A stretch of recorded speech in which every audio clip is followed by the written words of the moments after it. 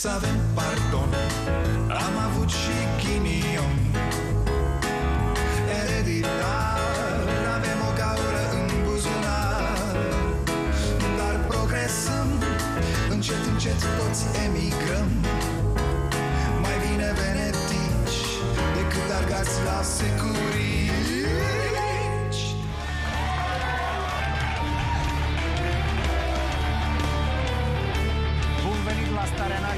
eu sunt Dragoș Pătraru, gazda dumneavoastră. Și cum sunteți, conspiraționiștii mei? Da, am văzut uh, topurile. Suntem campioni europeni la conspiratită. E, Avem și noi sporturile noastre la care excelăm, ce să... Dar cum la această emisiune se uită alt public format din oamenii care încearcă să rămână totuși cât se poate de lucizi în nebunia asta Să vedem ce am pregătit pentru ediția din această seară. Nu știu voi cum sunteți, dar eu am așa impresia că România există doar ca să aibă un loc de muncă acești politicieni da. România este practic o firmă aflată în faliment Falimentată fix de ăia care o duc cel mai bine Pentru că despre asta e vorba în esență, nu?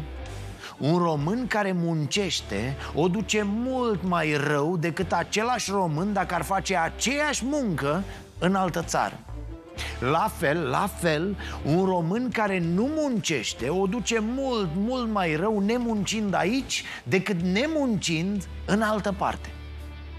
E, politicienii noștri vin și ne spun A, păi nu sunteți productivi, mă. A, păi nu sunteți muncitori. A, dormiți prea mult. A, pute locul sub voi. A, sunteți bețivi. A, sunteți niște curve. Copiii se fac golane acasă și nevasta curvă da, apoi sar și jurnaliștii care fac jocurile corporațiilor Arătându-i cu degetul pe cei care nu vor să muncească pe bani puțini Ca să facă șmecherii profitul mare, nu? E și de aici vine plecarea românilor, logic Țara asta pare deci că există doar pentru ca niște politicieni să o ducă foarte bine Aceiași politicieni care ne tot acuză pe noi că suntem proști, incompetenți, leneși Mă rog, cu prostia cam au dreptate, că-i tot votăm pe ei, nu? Adică Potrivit Eurostat, în România, 32,7% dintre cei crescuți în familii nevoiașe se află și la maturitate în risc de sărăcie. Spre deosebire de ei, doar 15,6% dintre copiii cu situație materială bună ajung la vârsta adultă în această situație. Am devenit experți în sărăcie și în sărăcire Ne iese cel mai bine sărăcia Dacă s-ar putea exporta sărăcie, am fi toți miliardari doar că noi cumpărăm arme ca să exportăm securitate în zonă Trăiți? Nu-i așa, domn președinte? Vai de noi, vai de noi și cum să nu avem această tradiție a sărăciei dacă ăștia care ne conduc fac în continuu aceleași greșeli? Vorbesc la fel, iau aceleași decizii proaste așteptând de fiecare dată alte rezultate. Promovează aceiași incompetenții în funcții, fură la fel de peste 30 de ani E limpede pentru toată lumea, sper că trebuie schimbat ceva radical în felul în care facem noi lucrurile aici. Doar că, uite, vorbim despre asta, însă nu se întâmplă. Poate și pentru că am tot pus botul la schimbare în ăștia 30 de ani? Aceiași oameni mici făcând chestii prost și foarte prost. Dar ce să vezi, ei o duc bine, o duc foarte bine Așa că de ce ar schimba ceva? Vedeți, asta trebuie să înțelegem noi, populimea Ei n-au de ce să schimbe ceva pentru că ei o duc foarte bine Noi o ducem rău dacă ne uităm ce se întâmplă în Danemarca, programul școlar al copiilor este complet diferit de programul copiilor din România. Acolo se intră la școală dimineața și se iese după amiaza, așa cum ies și părinții de la muncă. Iar școala oferă pachetul complet de servicii. Își fac temele la școală, au acces la activitățile extracurriculare tot la școală sau în jurul școlii. E, haide, domne, niște tâmpiți și ăia. Păi ce știu danezii? Lasă că știe tâmpeanul al nostru O, dar îi se citește pe față cât de bine știe mai ales când bagă mec la aia de zici că, zici că e foarte scârbă de noi așa Dar îl obligă cineva să ne răspundă Lucrurile sunt cât se poate de simple. Generațiile care cresc acum Copiii noștri care primesc educație în școlile lui Câmpeanu Vor concura pe piața muncii cu generațiile danezilor care cresc în acel sistem despre care cu siguranță ați mai auzit. E, ce se întâmplă cu diferența asta care și acum pare enormă? Se mărește și mai mult, normal, până când ajunge un hău, o prăpastie cu noi pe fundul ei, resemnați departe de lumea civilizată, sugând dintr-un covrig. Îmi spuneau că în weekenduri lucrează, pentru că dacă au minim 2 ani lucrați în weekend, statul le oferă pe toată perioada facultății o bursă de 5.000 de coroane și asta arată o viziune a statului despre cum să elimini sărăcia. Vă dați seama cât de nasoală e treaba dacă asta e o chestiune pe care până și Raluca Turcan a înțeles-o? Și Raluca Turcan e îngrozită de cum li se arată viitorul copiilor și nepoților noștri. Sigur, diferența e că doamna Turcan se îngrozește bogată, noi ne îngrozim săraci Politicienii merg de aceste sărbători pe la rude, adună familia în jurul lor, da Merg pe la munte, o cabană frumoasă, lux, 5-6 zile în Viena, poate frumos, nu? Fraierii, fraierii muncesc pe 1500 de lei Cât costă un bocan de schi al domnului Iohannis Specialiștii mai spun că șansele de a schimba viitorul unui copil sunt cu atât mai mari cu cât sprijinul vine la vârste fragede, practic de la grădiniță. A? N-avem de unde să luăm idei, măsuri, proiecte? Sigur că avem. Uite, asta e altă boală a prostului. Vrea să fie original. Cum vrea domnul președinte, cum vor toți ministrii educației de la noi. Da, toți vor reforme și stau ei așa și se gândesc Bă, cam cum să fie, de unde? Ei sunt niște incapabili, niște inculți Uitați cam cum să fie. Luați de la cei care au reușit. Da, faceți ca ăia, e simplu. Adaptăm un pic la realitățile locale Mai luăm acolo la rindea Nu fi chiar atât de cretini Dar mergem pe un model de succes Vă dați seama că ăștia care ne-au ținut și pe noi în sărăcie Îi vor ține într-o sărăcie și mai mare pe copiii și pe nepoții noștri? Suntem din ce în ce mai necultivați Iar asta, oricum ai lua-o, se traduce la final de zi în sărăcie Doamne, că, că vine câteodată să le zici un, una de aia din suflet, așa, în sfânta zi de ce azi, mă? Marți, marți Incapabililor Ședință mare a coaliției, domne, să stabilim bugetul pentru anul următor. Ă, Pentru 2021 bugetul a fost aprobat, vă amintiți, abia în martie. Ca așa suntem noi mereu, domne, niște, niște capabili, niște competenți iar când le spui, bă, sunteți făcuți grămadă, niște proști, niște putori a, a, Să vorbim civilizat, da? Suntem în UE, ce Dumnezeu De ce ne jigniți? A, cu banii de pensii vreți să vă enervez un pic? O, un pic, dar un pic România și-a asumat prin PNRR că bugetul de pensii nu trece de 9,5% din PIB E, ce să vezi, odată cu mărirea asta făcută acum, pac, ne-am dus la 9,4%. Stop joc. Iar aici sunt o sumedenie de întrebări. Prima și cea mai importantă, bă, de ce a acceptat România acest procent? Apoi multe alte întrebări în continuare Adică a fost o negociere, ceva? A? Au zis ăia de la UE să fie 3% Noi am zis nu, fără 13% nu acceptăm Și am picat la pace pe 9,5% ăsta sau cum? De ce România a negociat sub 10% din PIB pentru pensii În vreme ce media europeană se apropie de 15%? De ce? Hm? Cum ar fi să descoperim acum multe alte crime făcute de coaliția asta de centru noaptea care ne-a condus în ultimii doi ani? Comisia Europeană a avut o propunere mult mai drastică. Ah, ce aveți, bă? Și-a rupt Ghinea hainele de pe el cu negocierea asta I-a și bătut pe aia de câteva ori, cred că Nu, serios acum Nu sunt consemnate undeva negocierile astea, discuțiile Nu se, nu se înregistrează Vrem și noi stenograme măcar, nu știu, un proces verbal Cu ce ne-am dus noi românii acolo?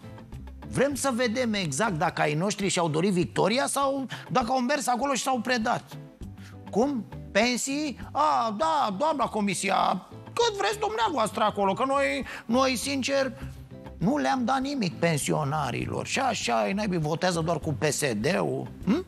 Dacă a fost așa, n-ar trebui să știm? Nu, serios, eu dacă aș avea timp, m-aș duce până acolo Bă, poporul nostru are așa niște semne de întrebare Nu e el foarte inteligent, dar... Adică știe că sunteți nemernici și voi ăștia de la Bruxelles și ai noștri politicieni Dar vrem și noi să știm așa exact cantitatea de ticăloșie ha? Hai, spuneți-ne, cum s-a discutat? Că nu cred eu că sunt secrete negocierile, nu? S-ar putea să fie o surpriză. Asta zic și eu cu metre Vedeți? Fix asta înseamnă o guvernare criminală făcută de niște habarniști pe cine a întrebat acest băiat când s-a dus el să negocieze la Bruxelles dacă 9,5% pentru pensii e ok? Hm? Bun, nu întreb poporul, că n-ai cum, n-ai timp, dar ai fost măcar în Parlament? Nu! Și așa se face că o frimitură de om politic de la un partid care a luat voturile a 3% din totalul alegătorilor negociază după mintea lui lucruri care, iată, afectează viitorul țării pentru 6-10 ani. Are acest comportament vreo legătură cu democrația? Are o laie. Ghinea, mă, Ghinea, un băiat dintr-un partid de 3% se duce la Bruxelles și zice Eu sunt România, accept ca bugetul pensiilor să nu fie mai mare de 9,5% din PIB Bă, băiatule, ești sigur că tu ai drept de semnătură pentru România pe așa subiect? Da, doamna Ursula, cum să nu? Ziceți-mă să pun deci tu să semnezi Halucinant, mă Încă trebuie să lăsăm ipocrizia deoparte Vorbim de, de cheltuieli care nu pot fi susținute de această economie. Cheltuieli care au fost crescute din pix în ultimii patru ani de zile și care, bineînțeles, nu sunt uh, tăiate, dar sunt uh, plafonate. E? Vă amintiți? Nu că se leagă până la urmă Această declarație a fost făcută de Câțu în februarie anul ăsta Pensiile și salariile erau atunci prea mari Păi acum că se mai dă una sută lei Probabil sunt deja pensii nesimțite, nu? Iată deci de ce un nimeni în drum ca Ghinea s-a dus la Bruxelles cu mandatul, bă, cât mai joseni cu pensiile, da? Țin așa că oricum nu vrem să le mărim, sunt deja exagerate Asta credea guvernarea de centru noaptea Siamezii austerității, da, PNL și USR Acum ce se întâmplă dacă aceste cheltuieli nu sunt respectate? Simplu Ciuciu banii din PNRR Zi tu, Ghinea Legea pensiilor speciale. În 2022, România trebuie să-și rezolve problema cu pensiile speciale. Și trebuie dacă nu scoate speciale, legile speciale, ce se întâmplă? Se blochează banii. Cineva trebuie să explice că am blocat banii de autostrăzi ca să protejăm pensiile speciale. Nu, nu dezorientatule, nu merge așa Ne-ai pus cu spatele la zid și nu mai avem voie să mișcăm, mă? Ce prosteală în primul rând, cineva trebuie să explice de ce România a negociat că nu poate mări pensiile unor oameni care trăiesc în mizerie cruntă. Asta trebuie explicat. Cumva la un proces, părerea mea. Vă dați seama ce catastrofă a fost guvernul Câțu, ce, ce amestec de cruzime și incompetență? Deci acest guvern și-a luat angajamentul la Bruxelles că va primi banii de autostrăzi doar dacă își ține pensionarii înfometați Păi fix asta spunea Gariciu ăsta gonflat, nu? Sigur că s-au făcut și erori. Ele sunt inevitabile. De-aia v-am tot spus în acele luni Domne, nu e ok. Coaliția de centru noapte ar trebui să vină cu PNRR-ul ăsta în Parlament Să se voteze acolo ce se va negocia la Bruxelles Să știe toată țara.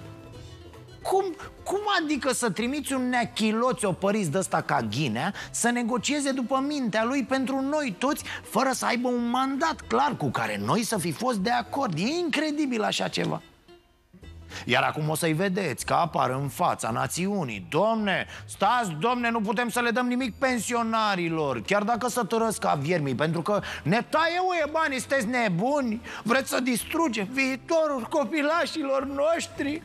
Nu, bă, voiam să nu să ajung aici.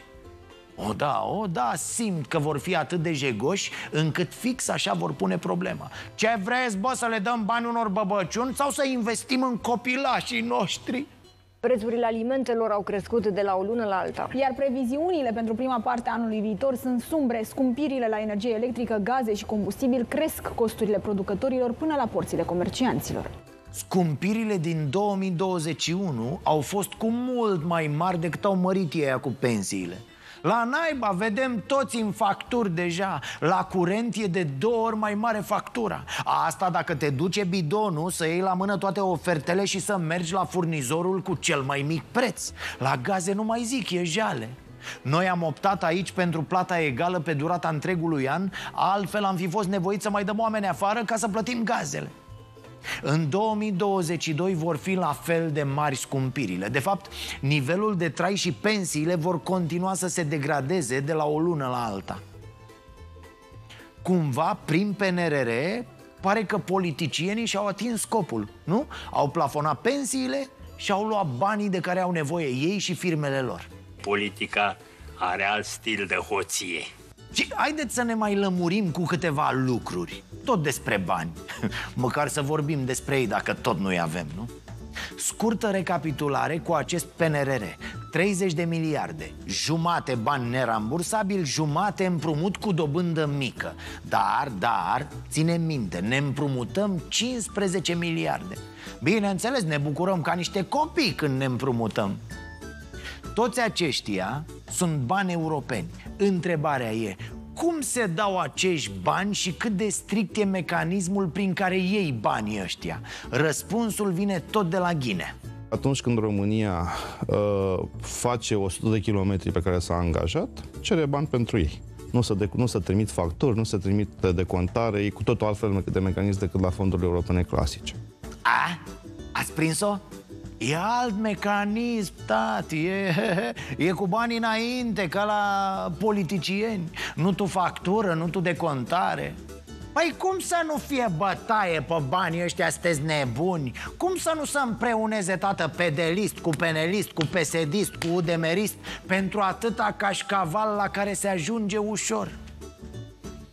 Doamne, nici nu vreau să-mi imaginez ce autostrăzi vor ieși cu 2 cm de asfalt, așa că din restul banilor trebuie să trăiască și partidul și rudele partidului și niște sute de firme care se înființează acu. Acu, ia, fiți atenți. 5 firme.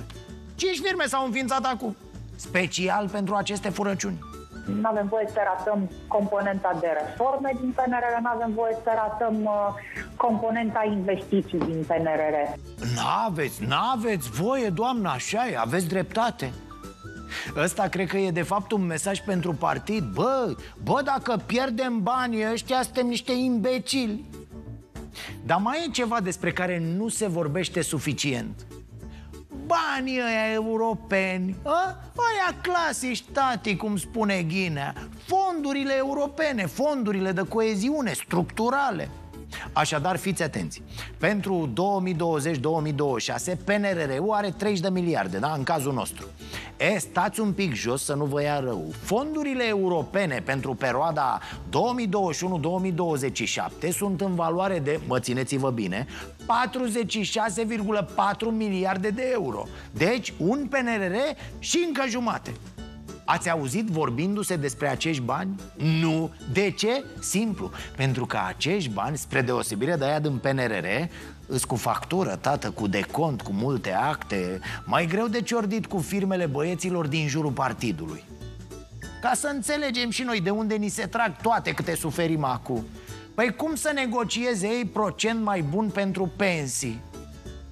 Nu o să ne dați bani ușor de furat, doamna comisia Păi o economie care uh, se bazează mai mult pe investiții, care a demonstrat că a trecut mai ușor peste perioada de criză prin această paradigmă, sunt lucruri la care noi ținem și de pe care le vom avea în continuare în, Apropo de PNRR, ca priorități. Și unde sunt, bă, Florică, împrumut investițiile alea? Doi ani de investiții ale guvernelor PNL și tot ce vedem este sărăcirea populației și explozia prețurilor Băiatul ăsta trebuie diagnosticat urgent și tratat. Dacă e cineva în partidul ăla care mai ține la el Să-l ducă urgent la medic. Am vorbit despre uh, reforma în sistemul de pensii De faptul că până în, avem în, în PNR anumite criterii uh, Un sistem de pensii pe, bazat pe sustenabilitate Pe perioada până în 2070, de exemplu 2070 a zis?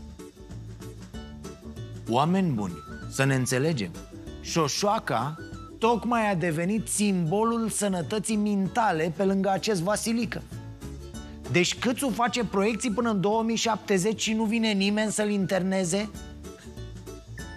Da Bref, vor fi 30 de miliarde păpate de băieții deștepți Cam jumătate din sumă va intra în buzunarele lor, probabil Că de-aia s-au unit, nu? Să lucreze împreună noi? A, e nevoie și de noi, cum să nu, da Să plătim datoria de 15 miliarde plus dobândă În timp ce vom merge pe autostrăzi care se vor rupe după 3 luni de la inaugurare și aproape nimeni nu se va atinge de alea 4-6 de miliarde fonduri europene Pentru că acolo e cu factură, tată, cu decont Acolo, acolo poate să-i prindă careva. Adică acolo mai întâi faci, apoi îți vin banii Dă-le dracu de miliarde pentru care trebuie să dai socoteală. Lasă că le avem pe astea 30 cu care facem noi cum vrem. Unde sunt bani mulți, sunt și interese mari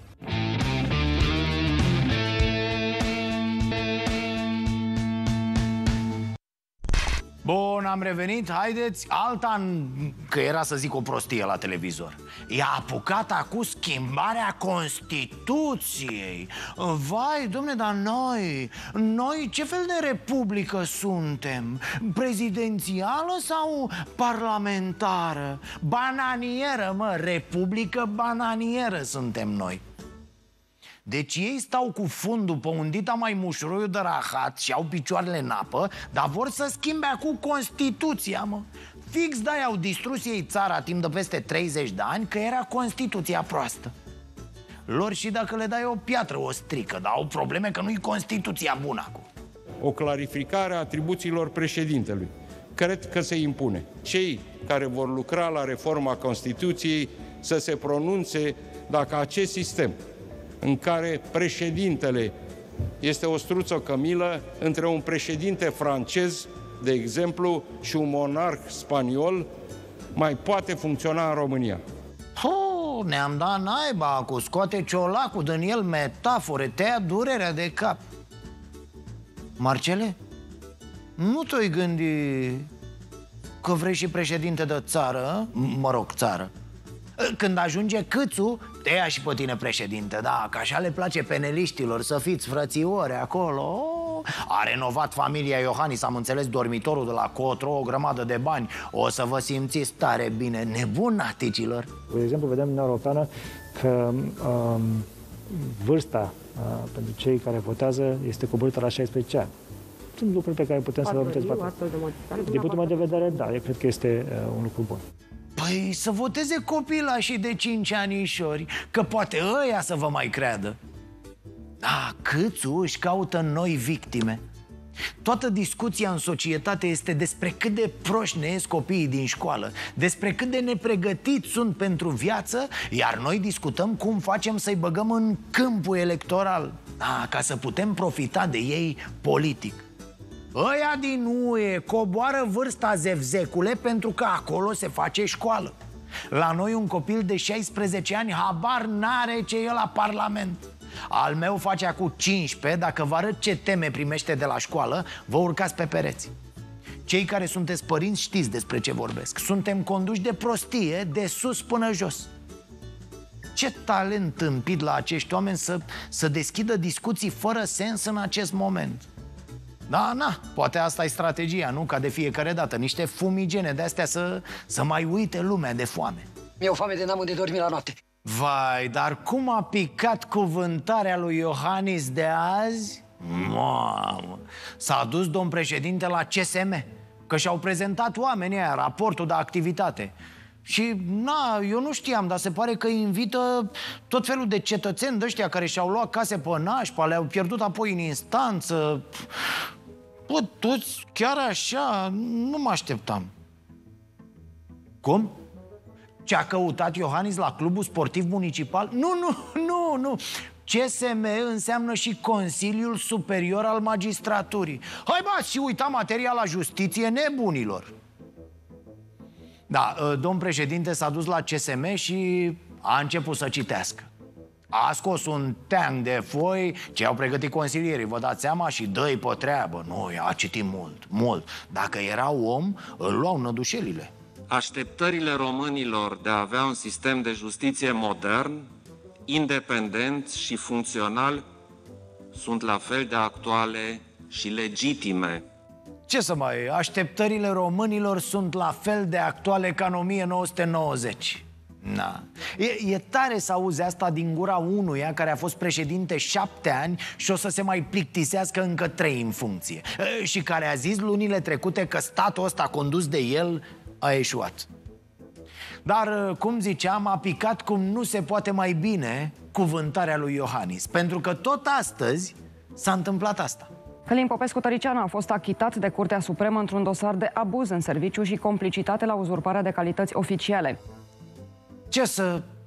Domnul Tăricianu, iertați-ne, domne, noi, noi am crezut că dosarele alea erau pe bune, dar se pare că... Atenție, procurorii au cerut instanței achitarea pe motiv că fapta hence nu există. După un an de judecată, procurorii și-au dat ei seama așa Nu, nici nu cred că au fost băgate Nu, nu, nu, nu, nu Procurorii, domne, și-au dat seama că Bă, ce e aici, bă, ia uite, bă, e o faptă, dar nu credem că există Ce poate fi mai frumos de atât? Credeți că va fi sancționat cineva? Ei, așa se face justiția, nu? Cum va arăta justiția din România peste 30 de ani și ce putem face noi astăzi pentru ca cetățenii acestei țări să aibă certitudinea că justiția se află în slujba lor, protejând cele mai de preț valori ale statului de drept. Uh, șefuțu, am și o sugestie. Nu mai bine dai matale casele alea înapoi? Că au fost luate cu bani la care n-ai plătit taxe și din chiria încasată pe o casă ciordită. Hai de casele, lasă justiția, că poate fi la fel de proastă și fără intervenția lui Matale. Mă gândeam, îi tot dau unii și alții cu neamțul, domne, neamțul și Președintele Germaniei a demisionat imediat când s-a aflat că s-a împrumutat de niște bani de la un prieten cu o dobândă mai mică decât cea de la bancă. Așa că lăsați-mă cu neamțul. Noi am pus președinte pe unul care a încasat de la o bancă 300.000 de euro chirie Pe o casă luată cu acte false Asta, mă rog, spune mai multe despre noi decât despre Iohannis, nu? Ah, ah, domnul Robo, fiți atent aici. Noaptea trecută, tavanul unei încăperi din spitalul municipal Lugoj s-a prăbușit. A căzut tavanul, bre, la spital la Lugoj. Da, e în România Lugojul. Și tot acolo o lampă din sala de operație s-a desprins și a spart capul unei asistente. E, cred că era vinovată, făcuse ea ceva, normal să pregătiți și despre asta o cuvântare, șeful Da? Trei foi citite rapid, bam, bam, nu mai mult Am glumit cu rapid Am zis la mișto Da, vă luăm la mișto, că asta ne-a mai rămas Ce să facem? Este o glumă destul de proastă Bun, și acum să vorbim un pic și despre facturi Stop! Stop! Opriți emisiunea! Nu este posibil așa ceva! Starea de alertă, oameni buni, este neconstituțională! Să vă fie rușine! Ați pângărit legea fundamentală a țării! Imediat să fac live pe Facebook. Doamne, Unde iar a, să intru? Iar a venit Asta revine mai ceva ca pandemia Când crezi că ai scăpat de ea, pac, vine valul 4 de șoșoacă Ce, uh, să nu crezi că nu te aud, da? Ce vrei să spui? Cum adică valul 4? Adică ce, eu sunt ocean să am valuri? Mă faci grasă? Nu, doamnă, vor, vorbeam des, despre altcineva Da. altă, altă șoșoacă, nu știți dumneavoastră, da Măcar ați închis ușa Nu am închis nimic. Nu am închis nimic. Dăm banii degeaba pe încălzire, doamnă, ne omoară facturile astea Vă rog eu Deci nu am închis nimic și nu o să închid nicio ușă. Păi de ce nu închideți? Păi uite așa, să se vadă și din stradă, să vadă, să vadă lumea să se oprească ca la urs, pentru că poporul trebuie să vadă cum starea de alertă încalcă Constituția țării. Am înțeles, iar ați venit să faceți circ, da? Da. Ați făcut ieri în Parlament și ați venit și la mine la emisiune acum. Deci uh, uh, eu am... Să rămână, Iau. să trăiți, să Iau. rămână.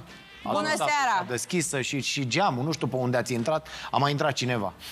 Păi, Și ce mă interesează pe Nu vă mine? Deci interesează. după mine poate să intre toată lumea, Toată da? lumea, Pentru că poftiți? Da, hai, hai, poporul, hai, hai. Haideți, poporul haideți, toată trebuie lumea. să știe, oameni buni, poporul trebuie Poporul, să vadă cu poporul. ochii lui cum Iohannis încalcă Constituția cu această stare de alertă. Ce? Și tu ai venit aici, te-a trimis Iohannis și Arafat ca să mă denigrezi? Nu, doamnă. Nu. Nu. Nu. Păi și pentru ce ai venit? Pentru ce ați venit? Bună întrebare. Că, na. Da, ați închis ușa, da? da? Vă rog eu frumos că, da? da. Nu, ne-au venit facturile astea la încălzire, la gaze, la... Ce, ce vorbește aia, domnule, am la, închis. aia la gaze zici că e premiul la loto. Am închis ușa, domnule. Am, Da? am o treabă cu doamna, dacă se poate. Ce treabă ai cu mine, nemernicule? Bă, C- Cum îți spuneți? permiți? Da. Te-au trimis Iohannis și cu Arafat aici Haideți, să doamnă, mă... lăsați-i să vorbească dacă tot a venit, vă rog. Nu, doamnă, da- dacă vă amintiți, ieri erați în parc la izvor cu... Așa. Erați acolo. Eu îmi plimbam câinele, doamnă. Așa și? Păi mi-a spurat bodnița, doamnă, că v-ați, v-a, a sărit Ah. pe câine, v-ați luptat cu el vreo 5 secunde și i-ați, i-ați smuls bodnița aia, săracul de, de ieri să uită în gol așa și am venit să-mi dați bodnița aia înapoi, doamnă. Deci, dumneavoastră... Ce vrei acum de la mine? Pe bot. Bodnița, doamnă. Deci nu... uh, uh, Ce să faci cu ea?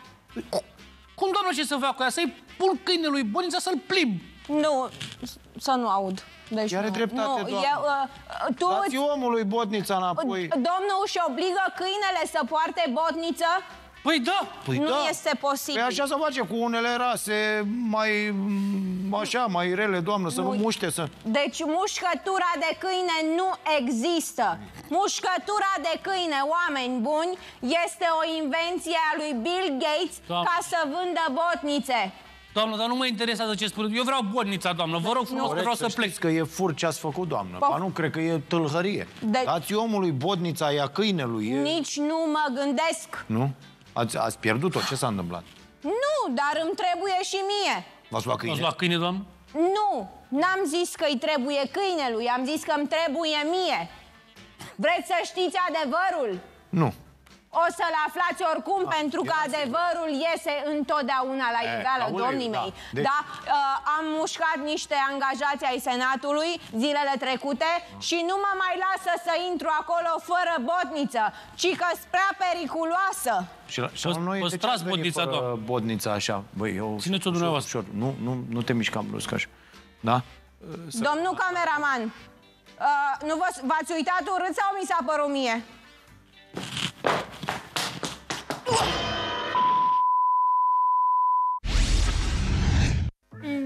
Da, avem și noi o rugăminte. Da? Alo, PNL-ul, coaliția, Dumnezeu, Doamne, nu știu cine ar putea să ne ajute. Um, Noi credem că am greșit și am vrea înapoi pe doamna Turcan. Da, am, am judecat-o cam dur. Îl oferim la schimb pe Câmpeanu, catastrofa de la educație. Da, dăm și diferență de la noi. Ne ajută cineva? Iohannis, Câțu, Ciucă, serviciile, ai bă, la servicii e baza Chiar și alea de salubrizare, dacă celelalte servicii îl țin în brațe De fapt, mă refeream la serviciile de manicură, pedicură Na, Testarea pe bază de salivă nu se raportează în coronaform. Testarea pe bază de salivă nu este un act medical. Testarea pe bază de salivă este un act pe care îl putem asemăna, dacă vreți, cu testul de sarcină sau cu tăierea unghiilor.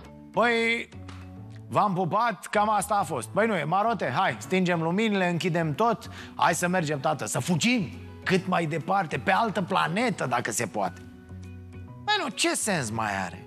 Că o dai naiba în altele Pe acest individ l-a mai verificat cineva în ultima vreme? L-a mai întrebat cineva ceva în partidul ăla, prin coaliție?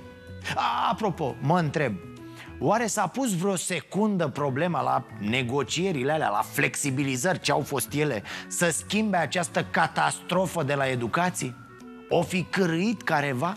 O fi cerut, domne PSD-ul, portofelul educației? Da, nici eu nu cred E clar că ai ținut puternic în brațe acest individ E de neclintit De fapt, ce zic eu ținut? Încep să cred că el îi ține pe toți în brațe Atât de șmecher este Nu cred că cineva și-a propus să verifice veridicitatea rezultatului unui test de sarcină făcută, făcut de o anumită persoană sau uh, tăierea unghiilor. Cum? Bă, dar ce... E, e vreo pandemie, mă, de asta de, de unghii sau ce? Ce naiba se întâmplă? Doamne, ce, ce minte să ai să compare o boală care ucide cu tăiatul unghiilor? Ori am ratat eu, mă, ceva la știri? Și stați, că n-ați văzut nimic cum, cum spun ăștia la televiziunile de știri Acum vine nucleara Eu, ca ministru al educației, care n-am în atribuții, nu sunt plătit să vin la dumneavoastră în emisiune, să o fac voluntar. Așa și profesorii care se implică o fac voluntar. Eu n-am cerut și nu o să cer niciodată bani să vin la dumneavoastră în emisiune și să explic uh, lucruri despre școală. Nu. Ăsta e un, un trucaj, nu? nu? Eu nu cred că există așa ceva. Am făcut noi treaba asta, montajul ăsta? Nu, nu, vă rog, spuneți-mi că e un, un deep fake de la sau cum naiba să numesc astea acum. Nu, deci el merge voluntar la emisiune, auzi? Nu mă, cocoșele. Mergi la emisiuni pentru că ești ministru. Mergi pentru că trebuie să le spui oamenilor Ce naiba faci tu la muncă, doamne iartă-mă. Asta presupune funcția de ministru. Nu vrei? Cară-te mă, nene, acasă Că și așa ne-ai nenorocit. Doamne, doamne, ce nesimțit Individul, să nu uităm, este unul dintre comunicatorii PNL-ului Da, el și Bode, exemple de comunicare Așa-i lăuda Câțu Cât de arogant să fii ca să ajungi să spui așa ceva de acasă se ocupă părinții. Da, părinții sunt responsabili de sănătatea ce... lor. Nu sunt în măsură să fac uh, instructaj și educație în uh, interiorul unor familii. Nu pot să merg acasă în fiecare familie și să uh, verific unde sunt... aruncă aceste deșeuri, care înțeleg că nu sunt deșeuri periculoase. Bun, am trecut la treburi concrete. Testele astea de salivă pe care le operează părinții acasă sunt deșeuri medicale sau menajere? O întrebare legitimă, nu? La care vine și răspunde șeful la testare Ce ai, mă, e treaba lor ce le fac eu cu educație? Sau alta cu rezultatele testelor nu avem altă șansă decât aceea de a miza pe responsabilitatea părinților, profesorilor și a elevilor. Nu sunt convins că nu vor fi multe acele situații în care părinții vor da dovadă de irresponsabilitate. A, normal, responsabilitate, corectitudine Adică exact ce au primit și oamenii de la voi, domnul Câmpeanu, nu? De la voi, de la politicieni, de la miniștri Și nu de ieri de azi, nu, din totdeauna mm-hmm. Nu e clar că ăștia care au organizat marea testare nu și-au pus o clipă asemenea întrebări? Deja povestea asta seamănă cu strategia de la vaccinare Da, au aruncat niște cutii cu teste pe jos și luați mă, luați mă de aici V-am mai salvat odată, dă-vă dracu de nerecunoscători Vreți și niște salivă? Puh! Diferența e că am plătit și niște saci de bani pentru teste. Am plătit și pentru vaccinuri, dar indirect. Aici am scos din buget și am scos mult. Mult prea mult pentru rezultatele care se anunță. Am auzit la știri că multe din testele de salivă pozitive au fost infirmate de testele PCR. Cei mai mulți părinți din Baia Mare au decis să adune testele folosite și să nu le arunce până când nu vor primi indicații clare. E, iată, iată, oamenii chiar sunt responsabili. Mulți și-au pus o întrebare pe care voi câmpene nu v-ați pus-o, e clar. Dar sunt și părinți care nu sunt de acord cu testarea. Nici măcar nu au ridicat testele de la școală Bă, nasol, dar nu e nicio surpriză, nici vorbă. Sunt mai multe explicații, cred. Una, atitudinea asta e tot un rezultat al dezastrului din educația românească. Dezastru de ieri, de alaltă ieri, de azi, de mâine. Vorbim de felul în care te raportezi la lume, la ceilalți oameni, la societate, la știință, la tot. Sunt chestiuni care se cultivă în colectivitate, în școală. Mă rog, în tentativa noastră de școală altă explicație. Câmpenii ăștia care enervează pe toată lumea. Eu, eu, care sunt adeptul testării, al vaccinării, al măsurilor de prevenire, de protecție, de, de toate Vă spun, nu-l mai suport. Da, păi antivacciniștii, anticovidiștii L-ar călca în picioare și ce să vezi? Cam au dreptate. Nehotărâții la fel. Cred că ar turna un lighean cu apă rece pe el Să-l calmeze, să, să-i treacă dracii. Nu numai copiii spun lucruri străznite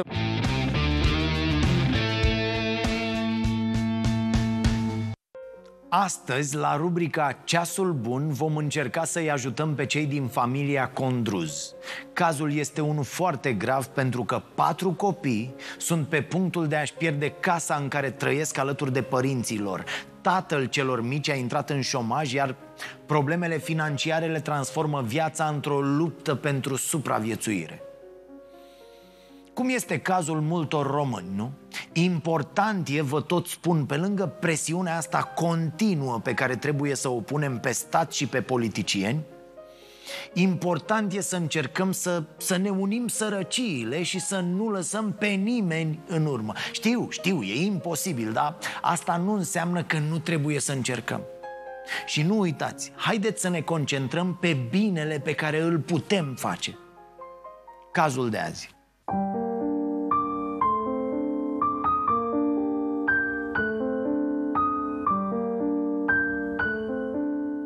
Gabriela și Sorin locuiesc împreună cu cei patru copii ai lor într-o casă veche din satul Ialomițean Iazu, locuință pe care sunt în pericol de a o pierde.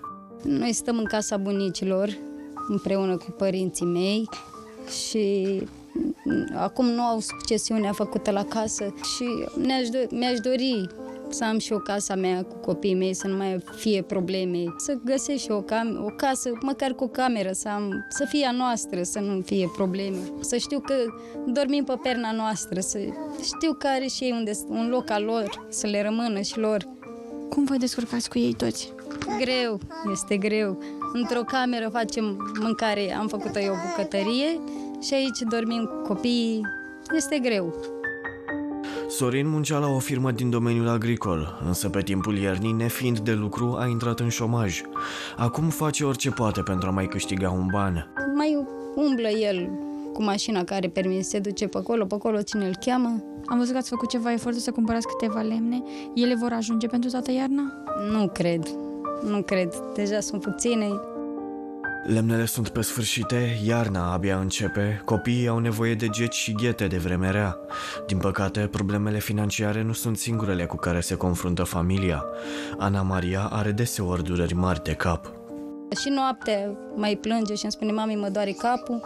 Mai dau siropuri pentru, pentru durere și mai las. Am fost uh, cu ea, am fost la, să o verifice la ochi și a spus că la ochi momentan nu are probleme. Și să mă duc mai departe la București, trebuie să ajung la București, să-i facă un uh, tomograf la cap.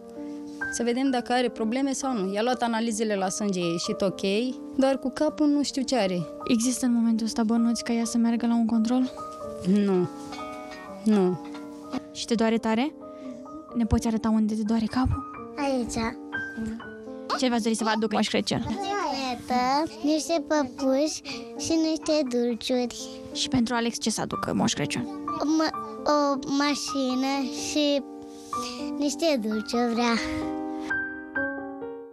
Da, și asta nu e tot Mai au nevoie și de alimente, de un aragaz, de un televizor Mă rog, televizorul minte, prostește Cred că se pot lipsi de televizor Nici nu știi de ce să te apuci mai întâi Haideți să vedem cum facem să vină și la oamenii ăștia Crăciunul cu vești bune. De lemne, hăinuțe și jucării pentru cei mici nu-mi fac nicio problemă. Sunt sigur că săptămâna viitoare deja le vor fi primit de la voi Pentru că acționăm ca o echipă de ceva timp. Vă mulțumesc pentru lucrurile incredibile pe care am ajuns să le facem împreună. Așa că haideți, mâinile pe tastaturi, dați de veste Larisei la ceasul bun arondstareanației.ro Ne vedem și mâine tot aici, nu uitați să fiți buni, dragii mei. Să avem pardon. Am avut și ghinion. Ereditar Avem o gaură în buzunar. Dar progresăm. Încet, încet toți emigrăm. Mai bine venetici Decât argați la securici